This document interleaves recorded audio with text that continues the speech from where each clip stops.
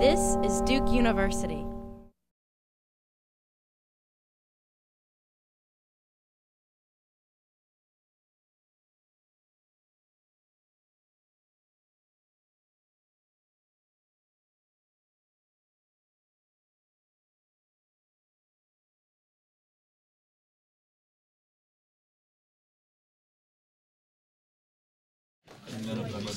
My name is Jonathan Liam, a second year student here at uh, the MBA school.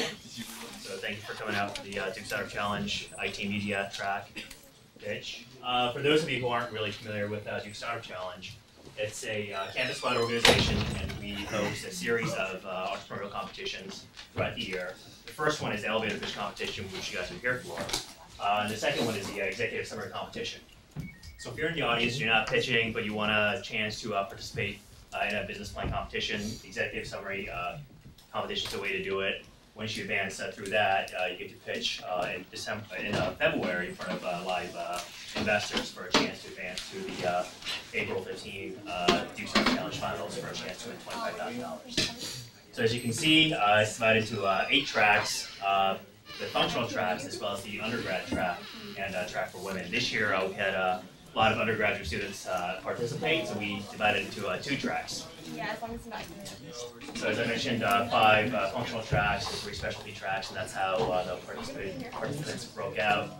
Uh, the way this will work is that you can advance to the finals on Friday in two ways. You could either get the judges' vote, or you can uh, get the audience vote. And I'll talk more about how the audience uh, choice vote is done uh, towards the end of the night. So, so Friday is the final. Um, starts at uh, 7:30 in Geneen. Uh, this year's keynote speaker is uh, David Thacker, who's a uh, venture capitalist at Greylock on the West Coast.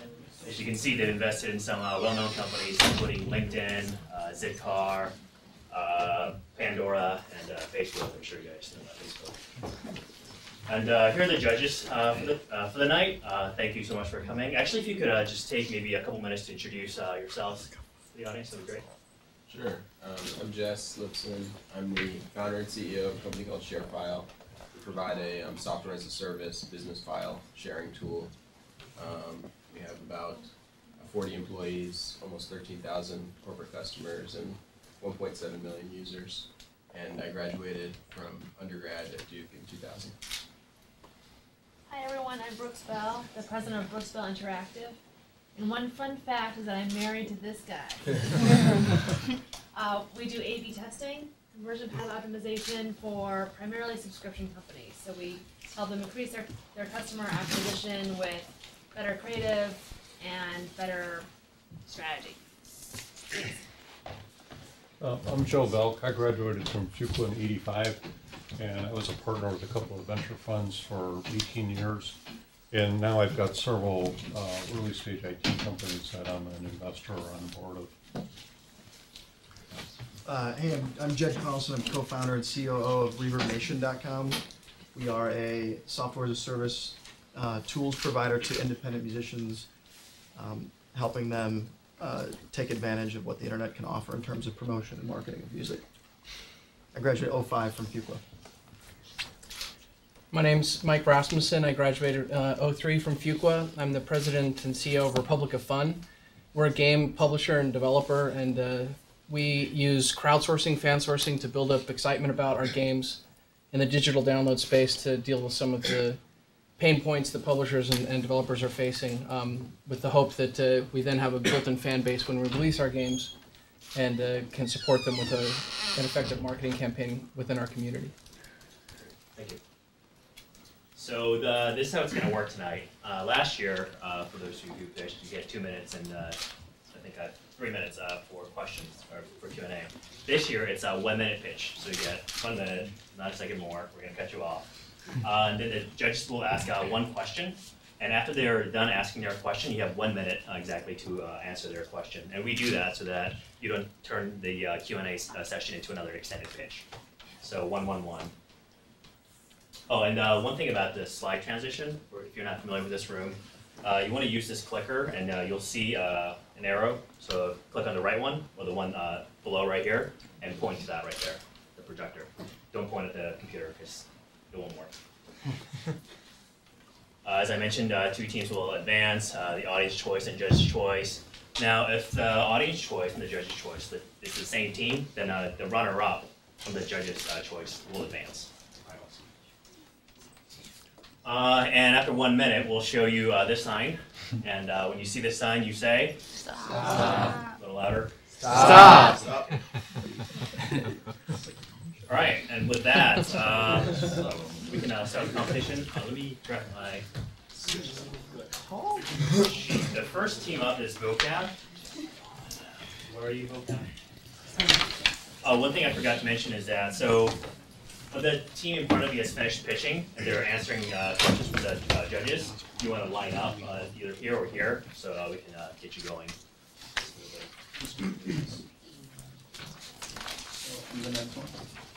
Yeah, uh, actually, one second. Time you, so whenever you're ready, you can use the remote. Whenever you're ready, just start and I'll start time. So imagine for a moment that you're trying to learn a language, say Spanish. Imagine also that there's a song in Spanish that you really like, but you have no idea what the words in the song mean. With this product, you'll be able to listen to that song and at the same time see the lyrics and the translation of that song as it's playing. Think of something like a karaoke without having to sing the song. So, so after hearing the song uh, for a couple of times and reading the translation, you will start to understand the song and what it means. And after understanding the song, uh, you will be able to. Oh. You'll be able to see. Um, Stop. Sorry. One question.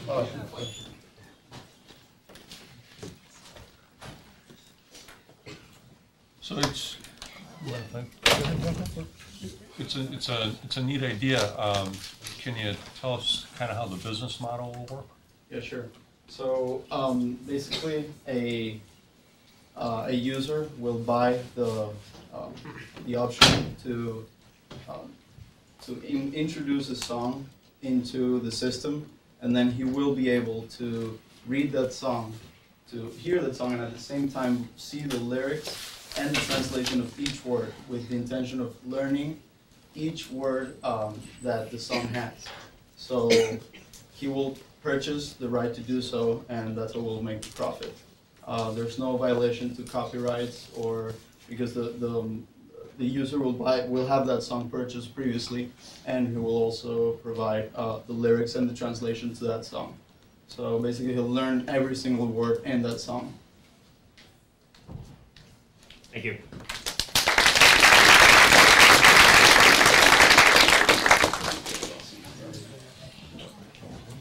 There's uh, Smarticles whenever you're ready.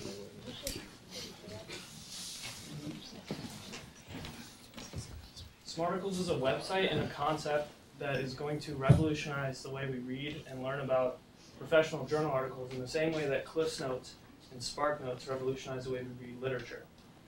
A Smarticle is a one-page summary of everything that you need to know about a journal article and nothing more. The website is designed wiki-style in the way that it's regulated and the way that the summaries are submitted. And we have a strict quality um, standard, only accepting submissions from PhD students postdocs, and people who are already professionals. Um, The topics of, of all the Smarticle journal articles, um, summaries range from business to engineering to science to medicine. Um, we cover a full width, and I think this is a good way to get smarter and smarter.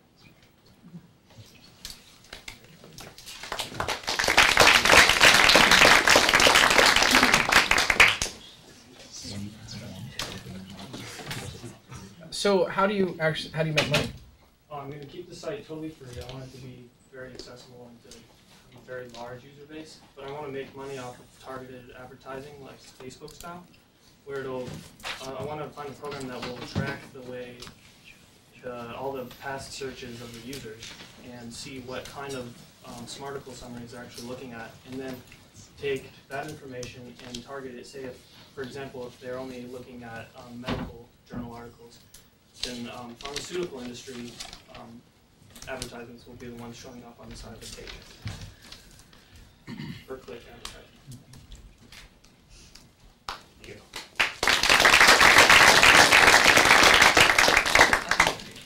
Next up is JobStock.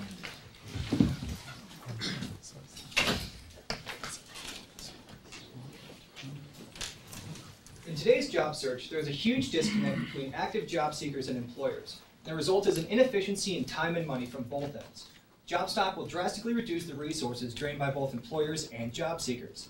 Like LinkUp, we directly comb and data mine company career pages for job opportunities, but with one significant advantage. We show jobs rather than listing them. We've created a map that displays who's hiring relative to the competitors in each company's sector and industry. Simply by looking at the map, job hunters know how many jobs are at each company and direct their online application efforts in the most efficient, sensible way possible. With the online recruitment industry at $16 billion and 25% comprised of advertising, offering inexpensive initial ad space will create buzz around our product. We currently require seed funding of $100,000. This enables us to complete our web development, build IP, and move forward with our marketing strategy. Help JobStock unburden the unemployed, underemployed, and unsatisfied job seekers stuck in today's online job search. Thank you.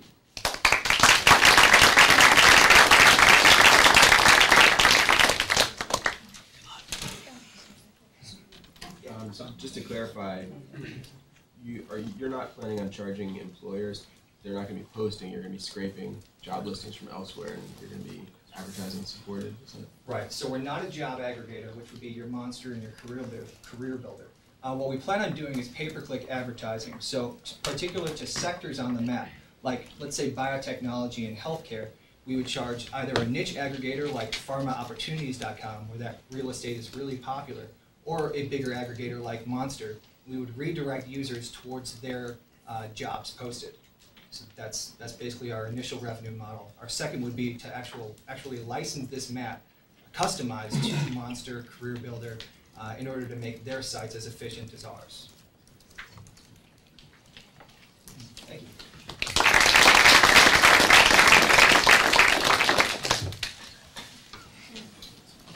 Next up is Time to Work. Is that right? Let's say you want to study from 9 to 12. actually, Not.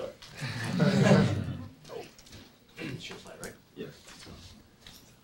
Let's say you want to study from 9 to 12. But like most young people, you don't end up getting much done. You find yourself distracted on Facebook, YouTube, ESPN, Twitter. You, like the other 43.6 million high school and college, high school and college students, and 500 million plus users on Facebook, spending over 7 billion minutes a month, need a software to help you better manage your time. That's where we come in. Time to work. Time to work will offer users two options. One, time constraint. Two, time allotment. It's superior to the other products here for three reasons. One, demonstrated need among our target market. One in eight Americans suffer from problematic internet use. Among college students, we're all addicted to the internet. Two, highly profitable. Once you overcome the cost of marketing and production, it's almost all revenue. Three, lack of real competition. There are only two other time management softwares. They're aimed at upper level managers and parents. None are aimed at college students, and none will give the services that we will give. Time to work. Visit us at it'stimeToWork.com.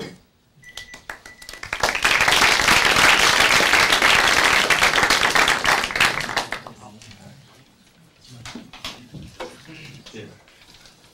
So, could you explain a little bit more about the product itself and then, and the business model behind it? Is it, is it a piece of software that sits on a piece, Yeah. on a computer? Um, our plan is that you download it from our website, and um, unlike the other time management softwares, which are internet plugins, um, this would give users the option to put in the domain names of the sites they want to block.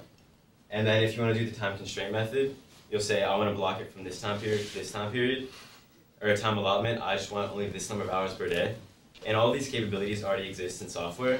None of it has just been consolidated and built into this software aimed at this target market. So it really won't be that difficult to produce. And then um, since we'll be selling it through the website, you'll just download it through there. We won't have the cost of like actually physically producing the software. So it'll be very low overhead.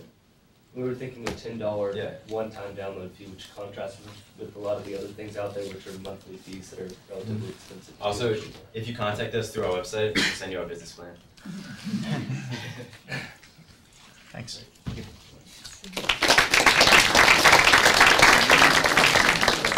Before we continue, there are some uh, empty seats there, so if you could actually grab a seat, uh, so people can move in and out uh, as they need to.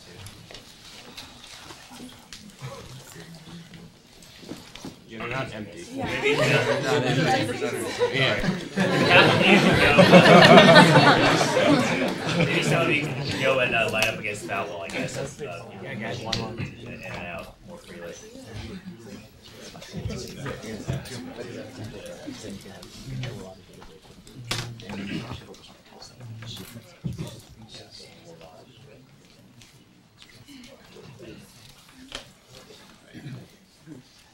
Actually, so for you. Whoops. Here. And I just hit enter, right? Uh, that'll be right.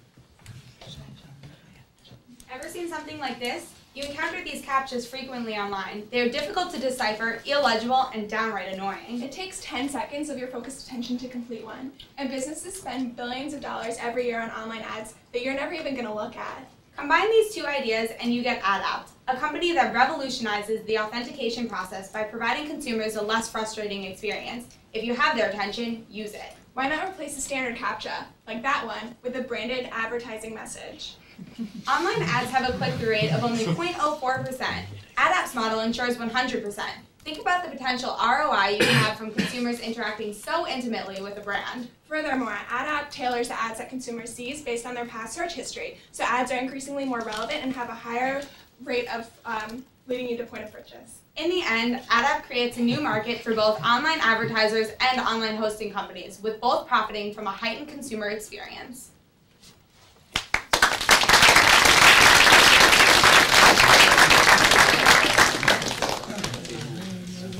Um, can you tell us a little bit about the other competitors in the market right now, specific solution?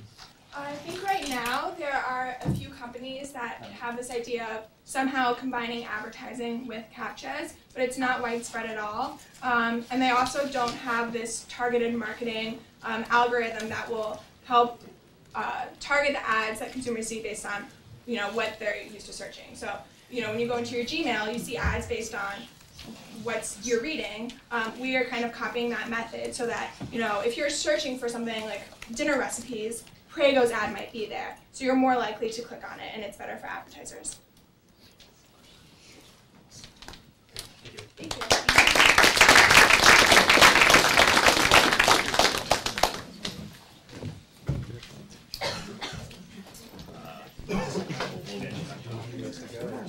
It's playing right. Yep.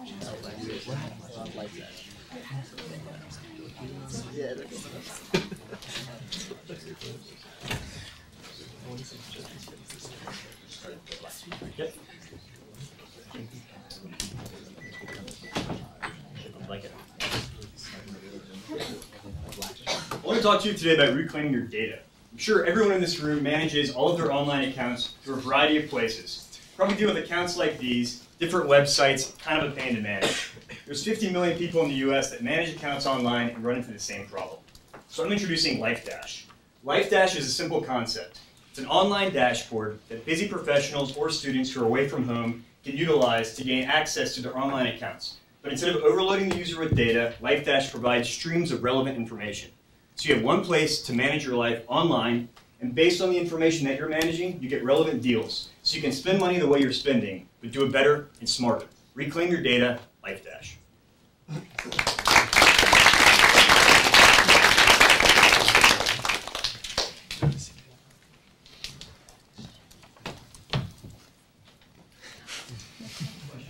So good, there's nothing, nothing. How old are you? I have a question. So what what does the actual product look like? I mean, what what is the interaction with the customer? How are they actually going to interact with your product? Sure, the product, the, the concept is a platform. So it can be through a website, it can be through a smartphone app or an iPad app, or really any way possible. The product itself looks like a simple single page dashboard where you would have similar to a widget concept. You might have a widget that has AT&T, 400 minutes left, $37 bill due Tuesday. Duke Energy, uh, $45 bill due Thursday. It cuts out all the crap basically and gives you single streams of data that have to do with what's important to you. So you're basically getting access to not, not just kind of this overload of bill information or account information, but you're going to get stuff that's important to you. If you travel a lot, you might be concerned about how many segments you need to get gold on American Airlines. That's the information that you'll see. So imagine a single page website, or perhaps a single screen in the Uh, sorry, sorry, sorry. No, go ahead. Sorry. that was about it. It just has that stream of data, a single view. But thanks.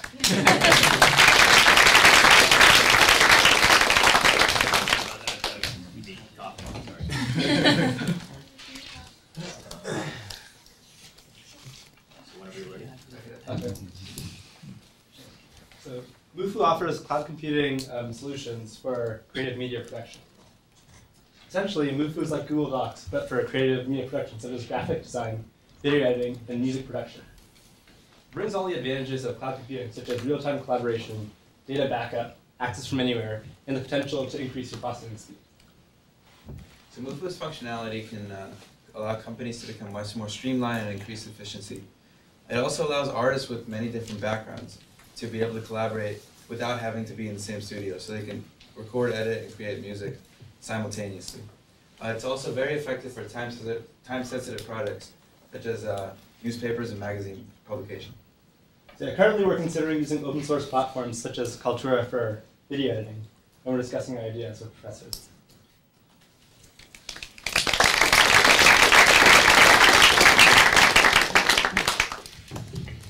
How big is the market for this? Um, well, there's a lot of music professionals who like do collaborations and yeah, so yeah, there's a pretty large market for that. I don't know the exact numbers. I mean, we know we know a Duke student uh, who uh, Yeah. works with artists from New Jersey and uh, all over the country, and he, I, we talked to him about this idea. He, he thought it was really really cool. Oh, yeah, he knows people he works with. But be open to it.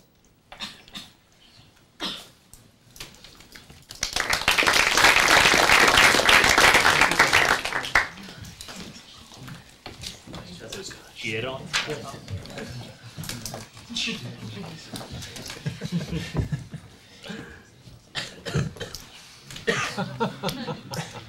Hi, my name is Rob Kahaya. This is Alex Yen, and we are cheatedon.com, where you tell the truth. With 50% of with a 50% divorce rate and 50% of men and women admitting to having engaged in infidelity or an affair throughout their lifetime, cheating has caused a lot of pain and suffering, both indirectly and directly to those involved in the relationship. For cheatedon.com, users will be able to create a profile of someone who's cheated on them. Users will be given complete control over what they post and who they share this information with. So what's this do? First, it creates accountability, holding cheaters accountable for their actions. Second, it opens communication and creates a platform for people who have been cheated on to confront someone who's cheated on them, and then hopefully move on and resolve their issues. So, revenue will be generated primarily through online advertising and also possibly through smartphone applications. It's our hope that this will reduce instances of cheating and hopefully help people hold themselves more accountable. So, um,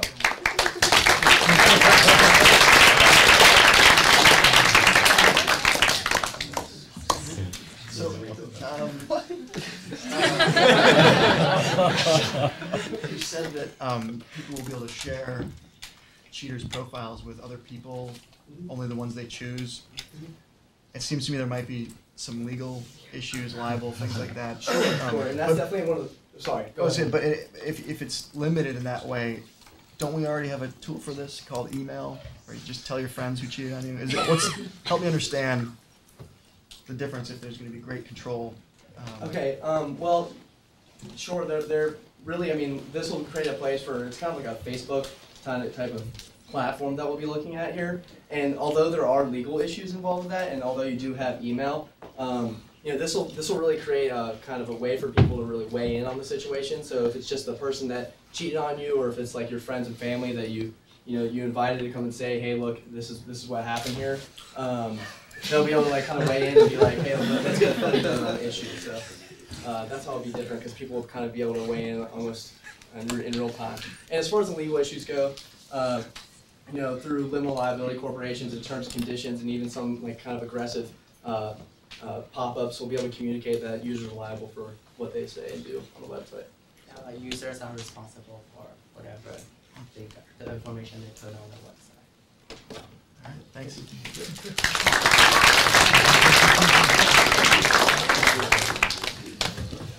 And next up is sidewalk.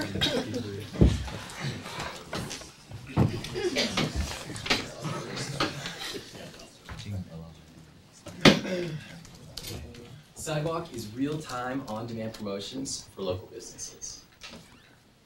Local merchants tell us some of their biggest problems are variability in foot traffic. This is due to time of day, day of week, or inclement weather. But it's these down periods when customers are the most valuable. Our solution gives those businesses control through tools that allow them to create time sensitive deals they can push directly to your mobile phone via our app in real time.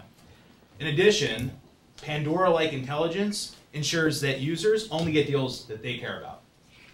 We have momentum and we're confident in our ability to execute. We've developed the technology and we'll be launching our product this Friday to 100 test users and 15 local businesses around campus. We're partnering with the Duke Chronicle to sell and advertise our product, negotiating a $50,000 investment with them, and the final rounds for a $50,000 grant from NCIDEA. Today, we ask you to invest in us and our business. Thank you.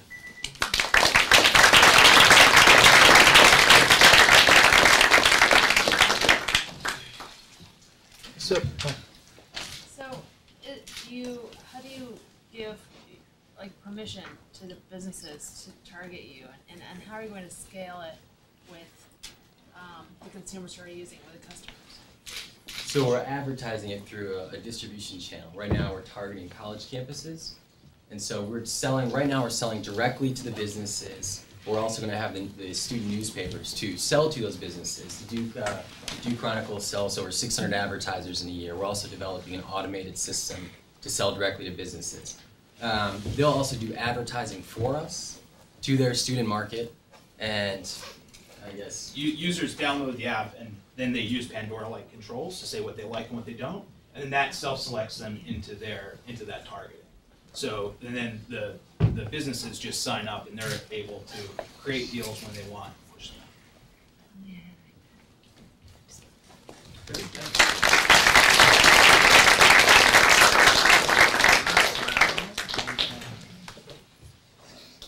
Next up is, are you shelf filling? Uh, no, I think I'm afraid now. Okay, you're not. They already if there's, uh, Red Cal, let me know when we're ready, just advance the slide. I, I advanced it. Okay. Hi, so my name's Andrew Brown. I'm here to tell you about FriendCal. So that we joined two ideas. First, it's really a pain in the ass to go out and make plans with your friends and decide what you want to do on Friday night. Second, if you're a local merchant business owner, how cool would it be if you could predict the future and know where people were going to go? We built a, a product that solves this problem. So you would go on FriendCal, create a group, sort of like a Facebook group, put in five or six of your friends, and make a tentative plan about where you want to go. Say pizza on Friday in Durham. We then have a self-serve platform for merchants where they can go on and based on time of day, size of the group, and also demographic uh, factors, offer you discounts or deals based on where you want to go. So if you're putting in a pizza place, you might get, say, a, a discount from Enzo's or from a particular other restaurant here in Durham. In this way, we let users make decisions in part based on what's cheapest. As a user, all you do is you print the discount from our site using it as totally free. And for a business, it's also free to go and actually put on a discount up. So. Uh,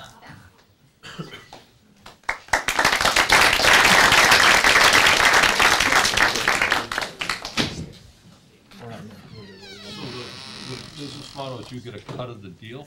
Right, we get a cut of the coupon, yeah. So and the, the businesses then only, they, it's totally free for them to post, they only pay us once someone actually uh, either prints or uses the deal. Um, initially, we're planning to go with a print model and we'll get, you know, just a certain percentage of that uh, based on the number who typically use it. But definitely moving forward, we want to go to more mobile coupons that are actually being scanned uh, and used in that way in order to make it an actual point of sale. When someone uses the coupon, we get that cut uh, and you don't pay for it until they use it. So there's really no downside because you don't actually, you know, pay anything until you've attracted that customer into your business.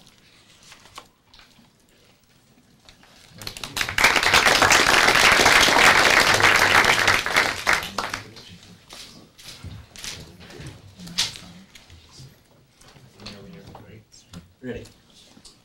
Picture this. Uh, you want a sandwich, you have the ketchup, you reach up for the mustard, but it's empty. Isn't that frustrating? so with Grocery Me, what we plan to do is emulate the power of just-in-time inventory control, but for groceries.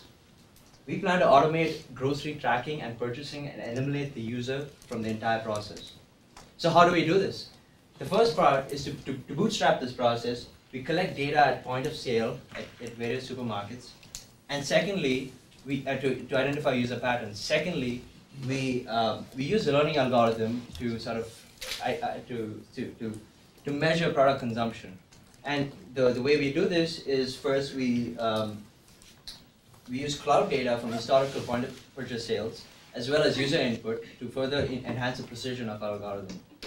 And finally, the kicker though is at, at some point we're going to reach uh, complete automation where we do not have the user ever enter a grocery store again. Stop. Yep, that's it.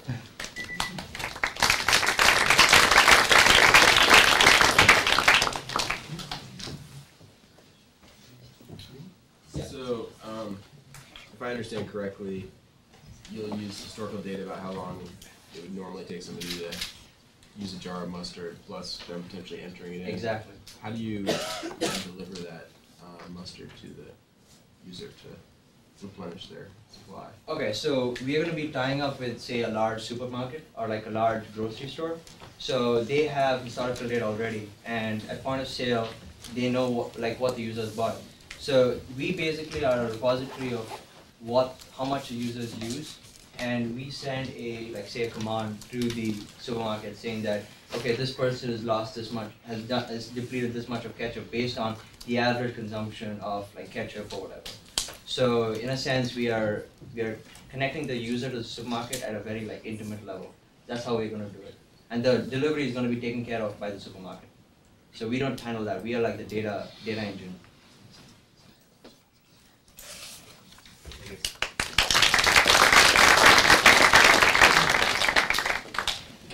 Next up is myplux.com.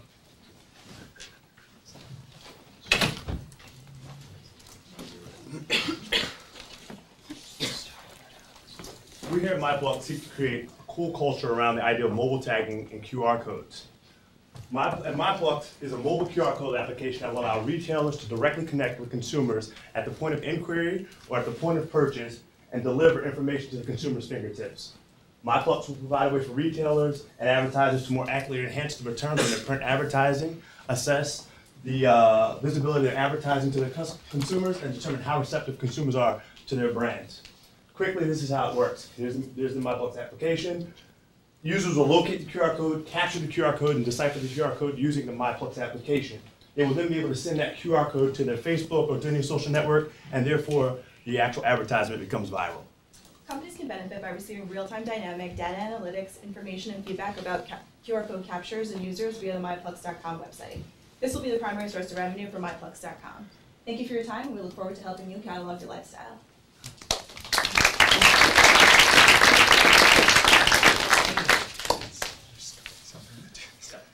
Uh, why are people going to install this app? Um, because it allows them, so essentially a QR code you typically have embedded in an advertisement, promotion, or something like that. You walk down the street in New York, you see a new pair of sneakers on a billboard, there's a QR code. Capture the QR code, it's a 20% discount on the new on the new pair of Nike sneakers that you see. That incentivizes somebody to capture the QR code, utilize it, purchase the sneakers on their phone via the website and so forth.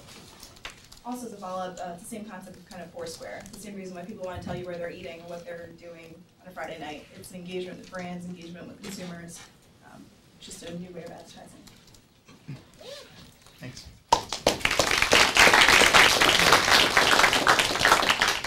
Next up is Siren Alerts.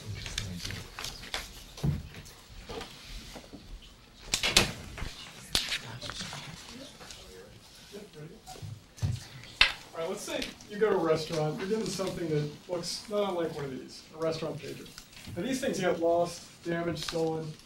They run between 50 and 90 bucks. I think there's a better way. My solution is Siren Alerts. It's a software slash mobile application. Customer checks in with the host. When it's their turn to be served, they're sent a text message. Uh, mobile application users, um, smartphone users rather, can download a mobile application that will allow them to see a list of where they are in real time and when it is their time to be served, as well as an average wait time. So the market as of 2008 was $2.1 billion for pagers, but that's falling rapidly, everybody's got one of these. Subscription-based business model, monthly or perhaps annually. The advantages to this, it's practical, it's simple, it's scalable. Uh, it will improve customer satisfaction, and it will reduce costs by for the business by not having to purchase and maintain the papers.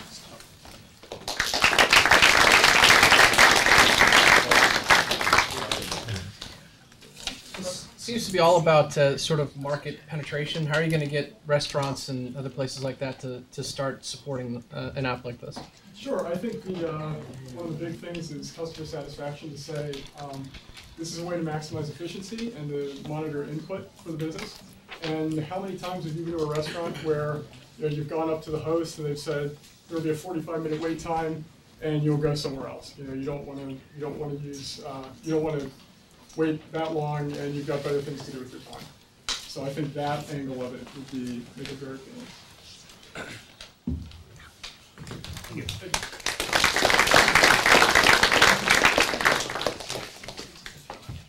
Next up is Pocket Blue Light. Pocket Blue Light here. All right, we're gonna skip Pocket Blue Light. Next up is ready?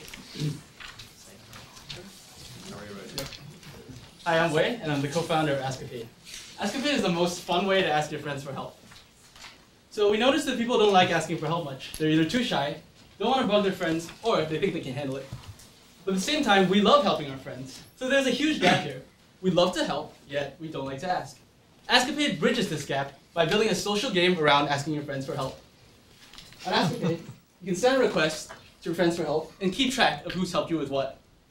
But here's what makes Askapade more fun than Facebook questions and Yahoo Answers. Your friends can thank you with virtual gifts, so the more helpful you are, the more gifts you collect. And then you can share this page on Facebook to show off how helpful you are. Askapade turns helping your friends into a fun and addictive game, so you can get the help you need and have a great time doing it. So sign up at askapade.com now. Thanks.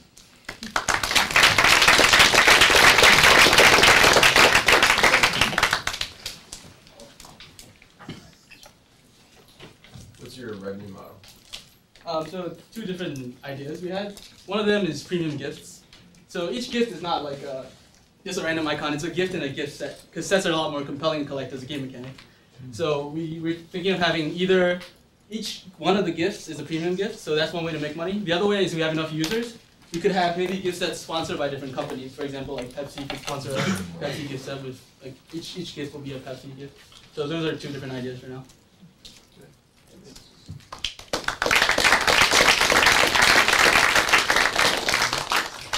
Next up is Yosho. Hello, my name is Tony Sparks. Yosho is a uh, revolutionary social networking site that will bring marketing to the common man and allow him to prosper through his endeavors.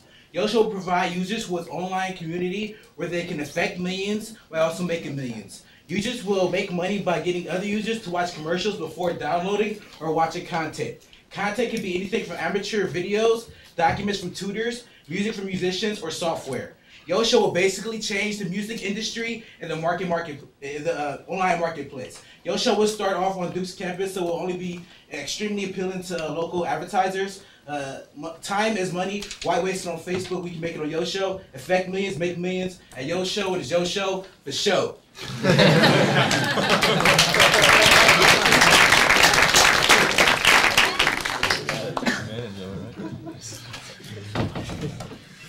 Oh, I'm sorry. so this is, this is Actually, uh, could I ask the question? Sorry. Tony, I liked your ending a lot. That was pretty. very, it was very exciting. Um, how, how are you going to overcome um, some of the troubles that other ad-supported content sites um, have run into? So, what's different about your model that um, Well, is going to compel people to watch advertising that's valuable enough to pay for? Well, I would attract a lot of users simply because uh, users make money, uh, just like a, like a Facebook account where like you know this is your profile. Uh, these are slideshow uh, profiles, uh, so basically they uh, play advertisements, also your pictures. And if somebody clicks right there on the Jimmy John's logo, and Jimmy John sells something, you can make money. But also like uh, the content right there, let's say that was a video. Um, uh, then like right before that video plays, there'd be a commercial. So like every time a commercial plays, the user makes money. The user makes money. Yeah. Got it. Thanks.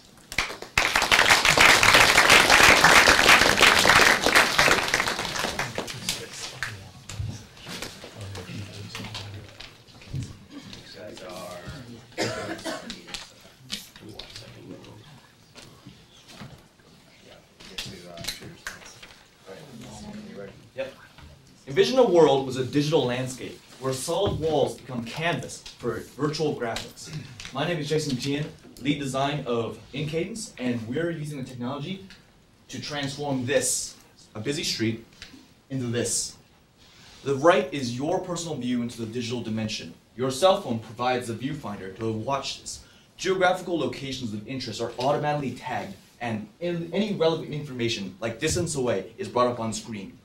This means that restaurants can automatically broadcast in virtual space their seating capacity, their specials of the day. Restaurants can broadcast their daily deals, their uh, gas prices. The possibilities are limitless. Our technology delivers time-sensitive, location-based data beacons that companies can set up to track business. And with your support tonight, uh, we can be the first into this market.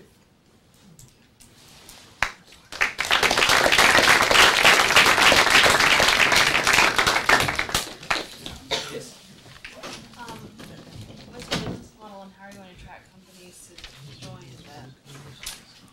Is the easy part. No one wants to be left behind in the analog world when all of their competitors are in this digital space where users think it's fun to go out and see just what is there that they can't see with their normal eye. Instead, they hold up their phone, instantly a new world appears.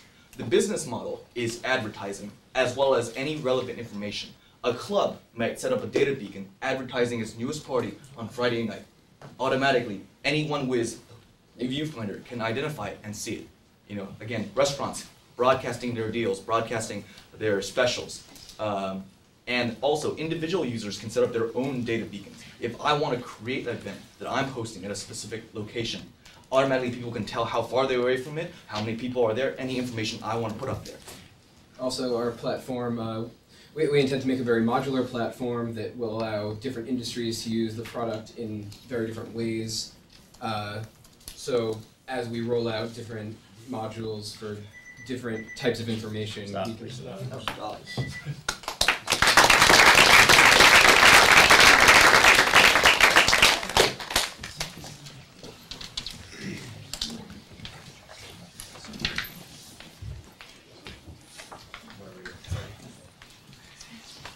How many times have you found yourself sitting at home trying to decide on the best place to go that night?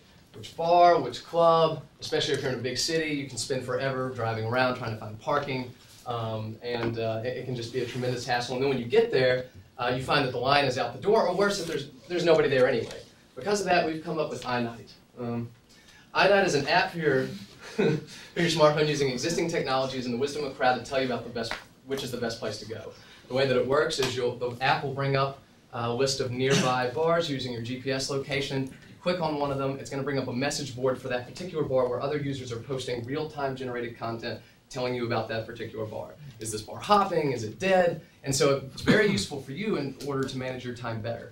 Um, and the great thing is that it's not capital intensive with about $4,000. We cover our development costs. And we think um, moving forward, because it's so easily monetizable, that we can reach uh, break-even point in about half a year. So we think there's an unmet need here that iNight can fill.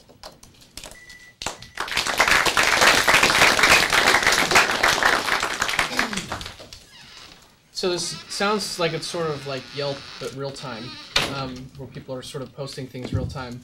Uh, I, I don't think you'd be able to do that with four thousand dollars, but the provided that you could, it seems like the biggest value is going to be from actually getting users to start posting. So how are you going to incent users to start posting, and why would they care? So it's a great question. We were thinking about it, and we basically are launching, uh, concentrating in three cities: Tel Aviv, New York, and Chapel. Part of our budget goes into development, and it's very cheap because it's existing technologies. You just combine what's already exists, and part of the budget goes for promotion. We indicated social, let's say, people who are club promoters who are already going out a lot, and people are following them, and by by paying them an annual fee each month, they will use the app, people will follow them, also gonna use this app. And also there's another structure that we're gonna thinking about giving credit points. Each one who use this app gets some kind of credit that eventually, it's also like a credit promotional, that you get, like, for example, a free drink if you get enough points credit using it. Just one second. Uh, thank you.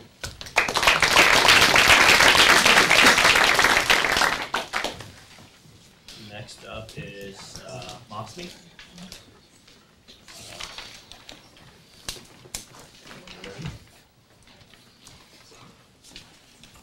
Do you have a busy schedule?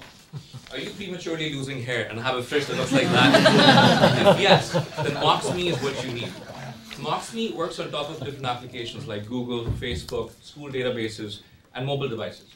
And it extracts information from these applications, adds its own secret sauce to it, to give you a single cross-platform calendar for your entire family. Our product is ready, and as we speak, is being implemented by an entire town, consisting of over 28,000 students, four schools, one state university, and a community center. Imagine a professor who can use a single platform to schedule classes with her students, to check her husband's calendar, to track her son's soccer practice, and receive alerts from the community center.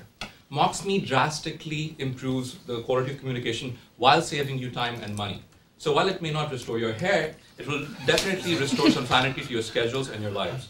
Thank you.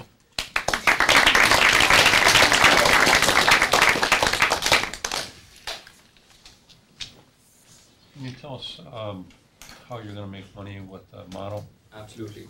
Uh, we're actually studying different revenue generating models right now, but just to give you a, a taste of what the market looks like, um, we, in our initial research, it's been revealed that a lot of, most of the parents out there who have children who are studying in K through 12 grades are willing to pay $9.99 per year for this service where it aggregates the calendar for the kids at school and it presents, the, presents it to them in a, in a nice manner.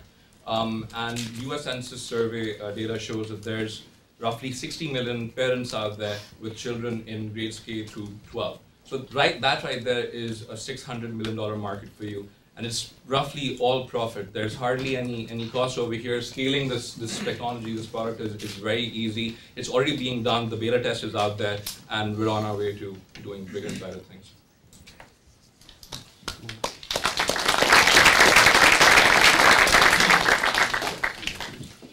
Next up is uh, Redeemio. You ready, right? Yeah, you're ready. How many of you guys have heard of Groupon? Show of hands. You should have. Groupon has been valued at over one and a quarter billion dollars. Now, because of this, over a hundred Groupon copycat sites have popped up, all with their own daily deals. Now, this is great for you guys.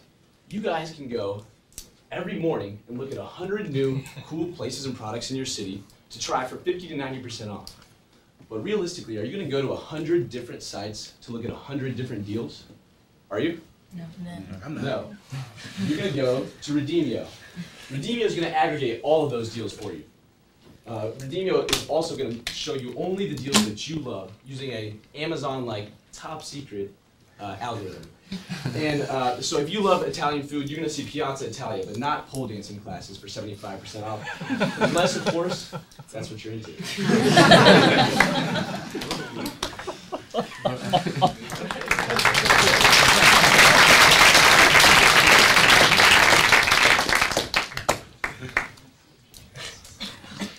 Ask him if that's what he's into.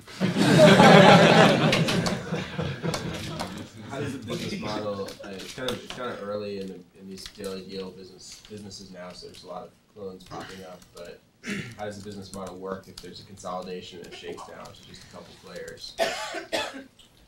It's a good question. So, so uh, at this point, uh, nine. So, so you're right. At this point, nine players really make up most of the daily deals.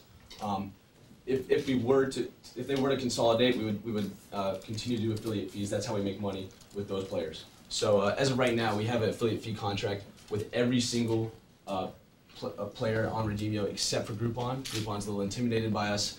Uh. Uh, secondly, we, we because we understand the behavior of, of our subscribers, we know exactly what they like. We have our own deals as well. So uh, we fill in the gaps that we see with daily deals, and we offer our own Redeemio deals. We've been generating a lot of revenue that way for about a month now. Thank you.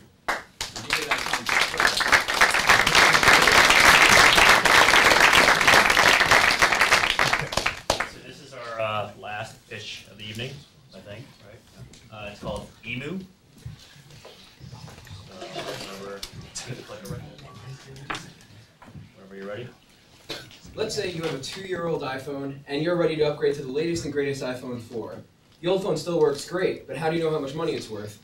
A search on eBay shows that there are hundreds of auctions for similar phones, and a Google search yields dozens of companies that will pay you for your phone. But do you really want to go through all that work to maximize your profit? Enter Emu.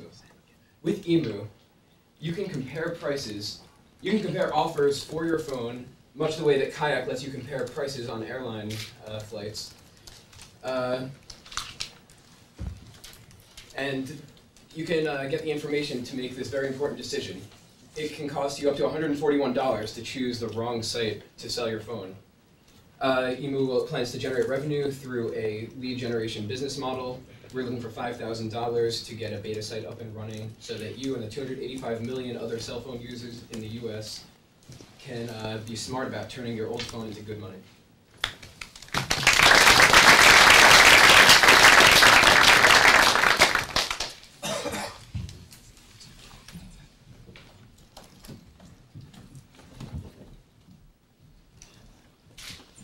How do you make money?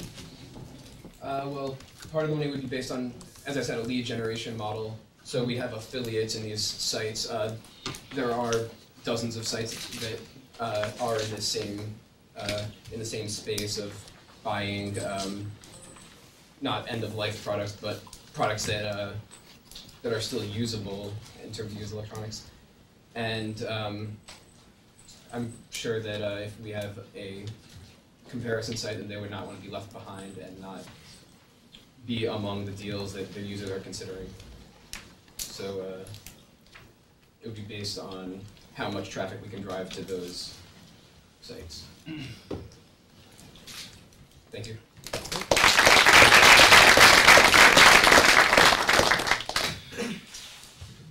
All right, so this is the time when uh, you vote uh, your favorite team while the judges tally up the score. So simply all you have to do is uh, just add up who the top choices are among the five of you, and that'll be the winner.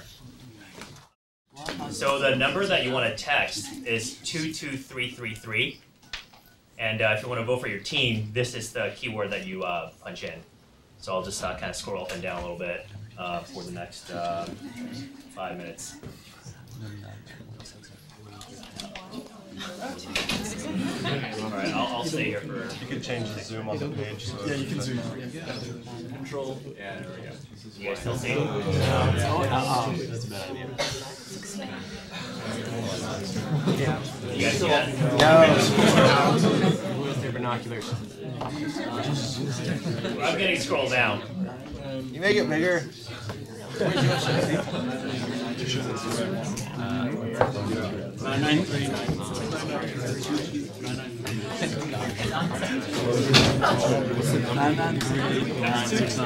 the number two two three three three. So yeah, the number that you want to text to is two two three three three, and you should get a confirmation when you uh, vote. So please vote once and only during the. So before we uh, announce the winners, just wanted to remind you guys of uh, the opportunity to participate in the, the Duke Startup Challenge through the executive summary competition. Uh, again, you could uh, submit a two-page executive summary uh, in uh, January or, or February timeframe for a chance to win up to twenty-five thousand dollars in April.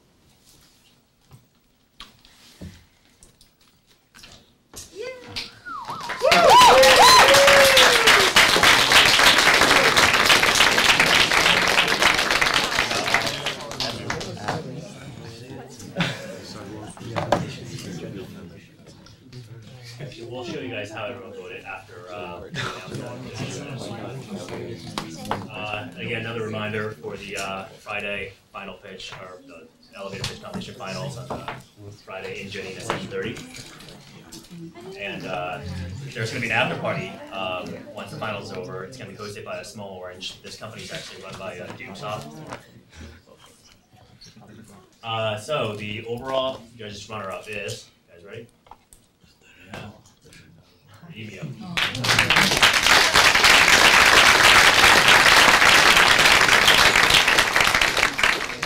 And uh, winner, judges winner for the night is. Before